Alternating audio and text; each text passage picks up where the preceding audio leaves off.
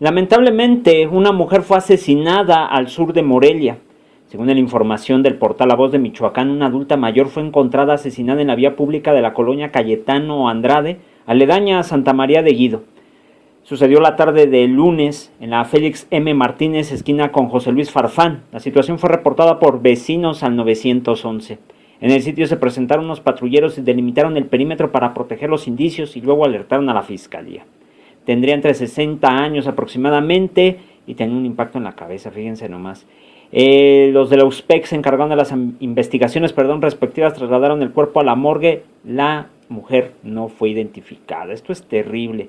Y es que la situación de violencia en Morelia sigue en aumento. Vimos lo que pasó eh, de una riña ahí en la Primo Tapia, un asalto en una gasolinera y ahora esto. Díganme, ¿de qué sirvieron o de qué está sirviendo los llamados 500 o más de 500 entre comillas, efectivos de eh, la Guardia Nacional Militares y luego también la, eh, la Policía Estatal o la Guardia Civil.